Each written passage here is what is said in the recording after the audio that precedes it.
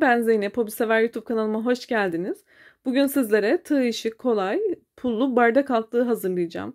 Dilerseniz bu modeli daha da büyüterek sizler tabak altlığı suplu olarak da yapabilirsiniz. Sunumlarda kullanabileceğiniz çok şık, çok cici bir model oldu. Gerçekten ben çok beğendim. Hemen modelimize şöyle bakalım. Yapımı çok kolay. Yarım saatten daha kısa bir sürede hemen hazırlayabileceğiniz kolaylıkta. E, modelimizi anlatımına başlamadan önce sizlere malzemeler hakkında e, bilgiler vermek istiyorum. Kullanmış olduğum ipler arkadaşlar polyester makrome ipleri. Tüm markalarda polyester makrome ipini bulabilirsiniz. Marka e, istediğinizi tercih edebilirsiniz. Şöyle ipimize yakından bakalım. Miktar olarak arkadaşlar 100 gramda 150 metre uzunluğunda ben e, kullandım. Böyle bir bobinden toplamda 7 tane hazırladım. Şu an e, yine elimde ipim var. Bundan da takriben 2 tane çıkabilir. Yani 100 gramlık bir ipten e, 8-9 tane rahatlıkla supla çıkartabilirsiniz bu şekilde bardak altlığı.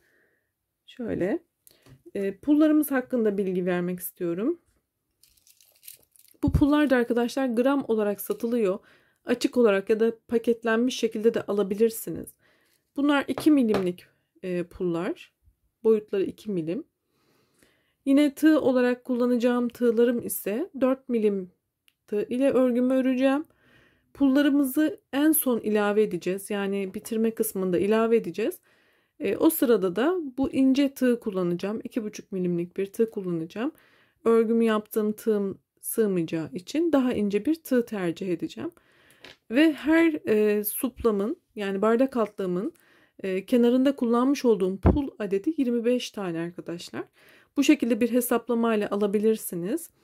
Ee, burada 25 tane kullandım. Bu suplamda ise her iki rengin arasına aynı renkten gelmemesi için bir tane ilave yaptım. Yani böyle iki renkli yapmak isteyenler 26 tane pula ihtiyaç duyacaklar. Evet bu bilgileri verdikten sonra yine kanalımın sağ alt köşesindeki abone ol butonuna da bastıysanız hadi videomuza geçelim. Evet bismillah diyelim ve başlayalım. Şöyle iki tane parmağıma sarıyorum orta parmağıma ve sihirli halka ile başlıyorum. İpimi buradan çıkarttım. Ve bir tane zincir yapıyorum. Bu kısa olan ipi de arkaya alıp şöyle tutacağım arkadaşlar. Şöyle çıkartalım artık. Şimdi bu halkamın içerisine 8 tane sık iğne yapacağım.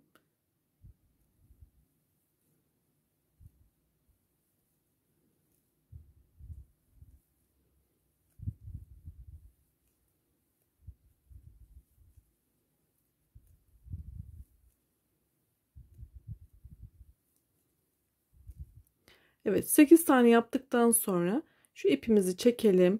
Burada mümkün olduğunca fazla çekip sıkı yapalım. Bu ortada boşluk kalmasın. Ne kadar sıkı yaparsanız bu kısmı daha güzel olacaktır. Ee, ve ilk başta yapmış olduğum bir tane zincir vardı biliyorsunuz. Oraya batacağım. Şöyle şu ipimi de araya alayım. Ve şöyle ilmek kaydırarak burayı ekleme yapıyorum. Şimdi bir tane zincir yapalım ve bunu sıkıca çekelim. Bakın ortayı tamamen kapattık. Şimdi ilk başlangıçta artık her zincirin içine iki kere batarak sık iğne yapıyorum.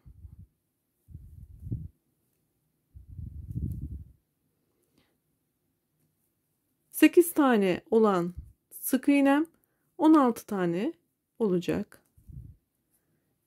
Şimdi hepsine çift batarak sona kadar devam edelim.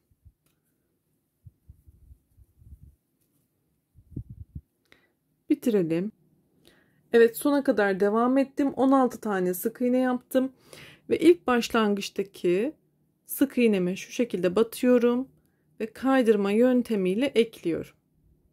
Şimdi iki tane zincir yapalım. Üzerine aldım. Yine kendi dibine batarak ikili trabzan yapıyorum. Bir kere battım, iki kere de çıkarttım. Üzerine aldım. Şimdi yan boşluğa geçtim sık iğneme. Buraya da iki tane sık e, ikili trabzan yapalım. Yani her e, sık iğneye iki kere batıyoruz.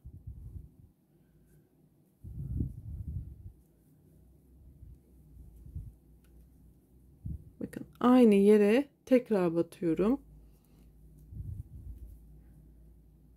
Bu şekilde sona kadar devam edelim.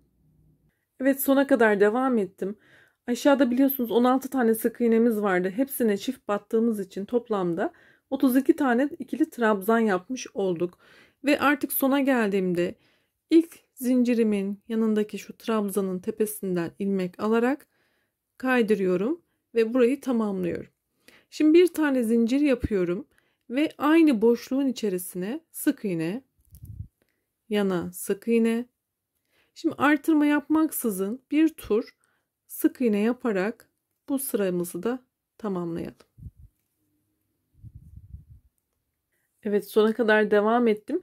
Sonda bir tane sık iğnem kaldı. Burada da iki tane sık iğne yapıyorum aynı yere. Ve ilk baştaki sık iğneme de batarak yine kaydırarak eklememizi yapıyoruz. Şimdi bir üst sıraya çıkalım. Burada iki tane zincir yapıyorum. Ve üzerine aldım. Yandaki boşluğa hemen dibinde bakın şurada boşluğumuz var. Buraya ikili trabzan yapıyorum. Şimdi bu sıramızda bir tek bir çift olarak yapacağız. Yani buraya bir tane yaptığım için şimdi buraya iki tane ikili trabzan yapıyorum aynı yere. Bakın hala aynı yerdeyim. Şöyle elimle tutarak gösteriyorum. Bakın aynı yere iki tane battık. Burada tek, burada çift. Şimdi tek yapıyorum.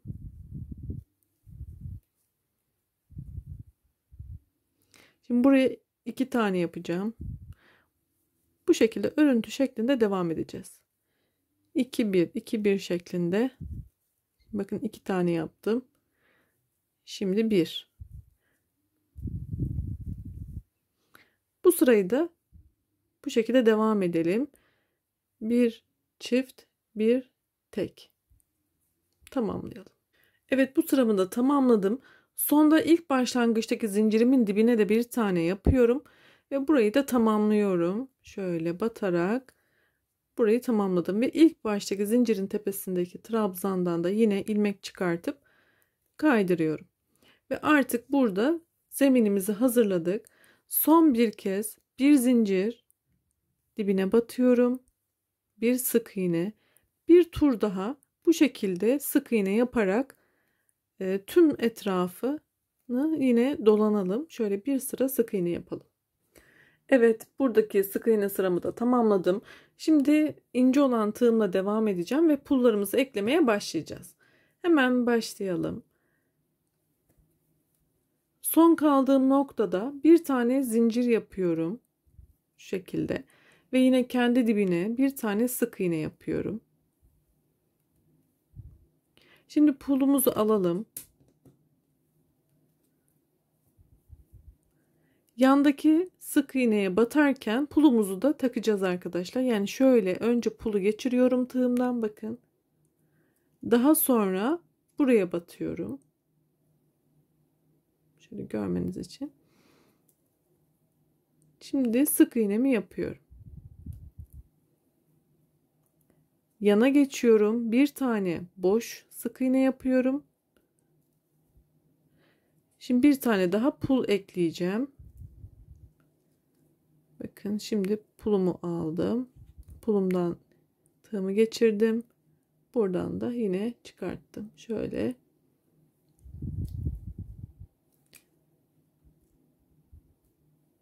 Sık iğne. Şimdi yana geçiyorum. Bir tane boş sık iğne bir tane de pul ekleyerek. Bu şekilde sona kadar devam edelim.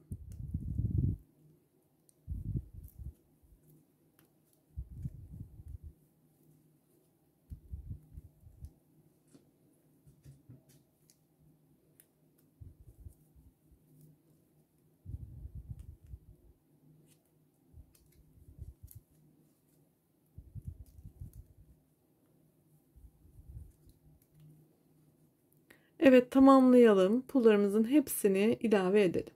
Evet sona kadar geldim. Burada bir tane pulum kaldı. Onu da hemen şuradaki son boşluğuma getiriyorum. Bakın şurada. Oraya e, yerleştirelim. Yapalım. Takıp bitirelim. Evet.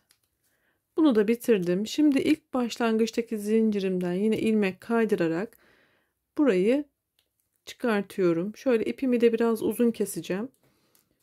Sizlere ipi de nasıl gizlemeniz gerektiğini de anlatacağım.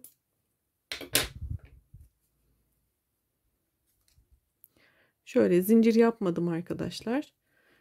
Bakın şuradan ipimizi arkaya ilmek çıkartalım. Buradan gizleyeceğiz. Şöyle yaptığımızda burası oluştu. Şimdi ne yapıyorum? Buradan bir miktar ipimi yürüteceğim. Sağlam olması için.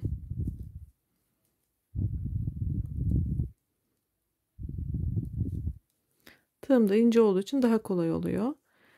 Ee, bunu burada düğüm de yapabilirsiniz. Şöyle bir tane de düğüm yapalım. Bakın bunu şöyle çekelim.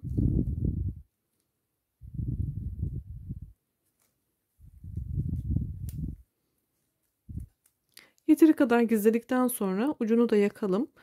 E, çünkü bu ipler çok akmaya müsait hemen e, akıyorlar arkadaşlar. Onu da göstereceğim nasıl yapalım. Bakın şurada çok az pay bırakarak şöyle kısa bir pay bırakacağım. İpi şöyle kısa keseceğim. Bunu da yine şöyle pay bırakıp keseceğim. Bakın şöyle küçük parçalar bıraktım. Şimdi çakmakla bu ipi yakıp sıcakken yapıştıracağım buraya. Sizler bunu daha özenli yaparsınız. Hem ipimiz akmıyor hem de yapışıyor burada. E, açılma yapmaması için. Evet suplamız hazır. Bardak altlığımız. Şöyle de açalım arkadaşlar. Umarım beğenmişsinizdir, memnun kalmışsınızdır. Elimizde de düzeltelim. Polyester bir ip olduğu için e, bir miktar düzeltmeye ihtiyaç duyarız. Evet, umarım hoşunuza gitmiştir. Beni izlediğiniz için çok teşekkür ediyorum. Yeni videolarda görüşmek ümidiyle. Videomun sonundaki oynatma listelerime de bakmayı unutmayın. E, böyle güzel çalışmalarımın devamı gelebilmesi için kanalıma da abone olun lütfen. Hoşçakalın.